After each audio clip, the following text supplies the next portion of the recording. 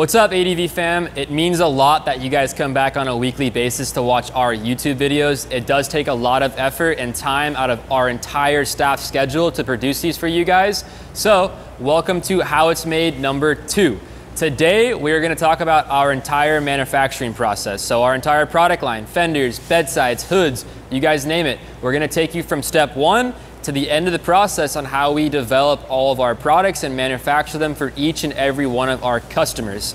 I'll do my best to slow down and explain the process as easy as possible. It's extremely easy for me to understand everything that we do, but when I started in the industry, it was a little confusing. So I'm gonna try and get it to the lowest level possible. That way our entire audience can understand it 100% because yes, it does get confusing at times. So let's get started.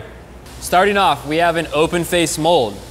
We're gonna basically prep the mold. What prepping will consist of is cleaning out the entire mold to make sure there's no dust, there's no dirt, there's no debris inside of the mold.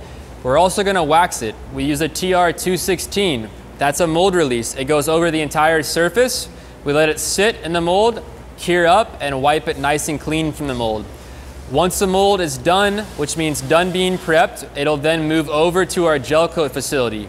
The gel coaters will then clean out the mold yet again to make sure that when they spray the gel coat in the mold, there's no dirt on the surface. We have to make sure the molds have a very shiny finish. All of our parts will also have a mirror reflection of the molds.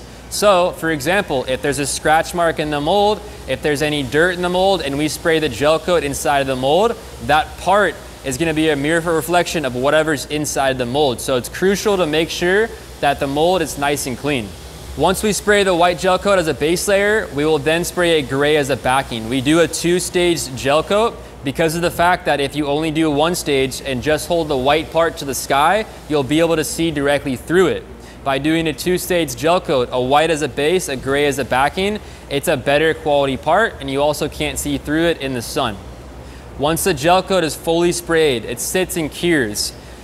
Once it's cured, it gets passed off to our lamination department. The lamination department will then add filler to all the tight edges. What the filler does is it helps avoid any air pockets or voids that are hard to get the material to stretch into, mainly on those tight radius and tight corners. They will hand lay the actual mat in the mold and the cloth in the mold as well. After the resin's added, they squeegee out all the excess resin and we'll let the part sit and cure. The material will fold over the edges. Once it tacks off, our team takes the knives and cuts the edge of the part. That completes that part of the process. It then gets passed over. It'll sit overnight for about 24 hours, and then our team will demold it. So they'll pull the parts from the mold.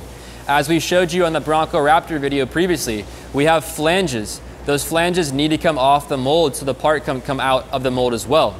After it's demolded, the molds will get prepped again, go through the process, but before that part is finished, it gets passed off to our grinding department. You'll notice the parts have sharp edges across all the flanges and across all of the runoff areas too. So our team will take grinding disc, grind down all the edges, get the DA, clean up the edges of the flanges, add Bondo as well, sand down the Bondo, and finally paint the part. Once the grinding department finishes that process, it'll then get passed off to quality control. Our quality control department will confirm that there are no defects in the parts. And once they get signed off on, it is either picked up, shipped out, or we install it for the customer as well. And that takes you through the entire process of our manufacturing. So thanks again for watching this. We took you guys through the entire process from start to finish on how we manufacture the products.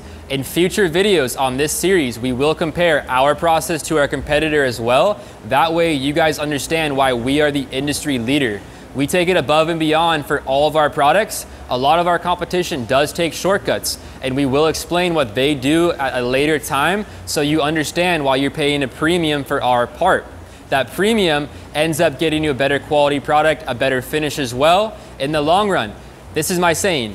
You may be paying more money up front for our parts, but you're gonna pay less in the long run because with competition, you pay less money on the products, but you pay a whole lot more on installing it and getting those lines to fit right. So thanks again for watching this video. We appreciate you guys tuning in. Hit that subscribe button down below and any future content that our viewers wanna see, let us know. Thanks again.